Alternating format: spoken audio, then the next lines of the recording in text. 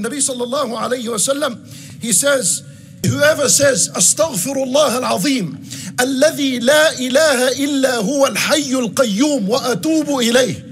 Listen, very simple dua to remember. Astaghfirullah al-azim, الذي لا إله إلا هو الحي القيوم وأتوب إليه.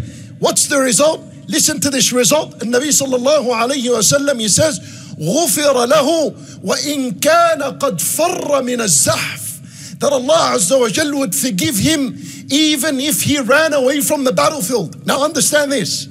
You know that running away when you're already on the battlefield, engaged in war against the enemy of Allah, and you turn your back and you run away, that is a major sin. Not a minor sin, it's a major sin.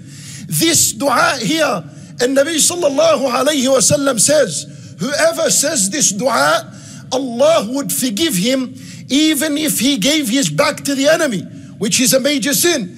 In other words, this one dua is powerful enough to even clean you from the major sins.